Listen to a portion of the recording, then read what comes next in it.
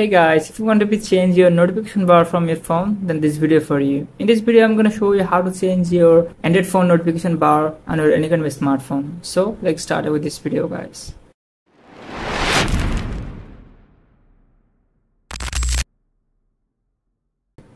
Well guys, you need to do is going to be install your 14 notification bar, a 14 version notification bar on any smartphone from a setting. It's going to open up your setting first as you can see guys this is my phone setting. You need to scroll down here. The option called notification and control center. You're going to be tap on it.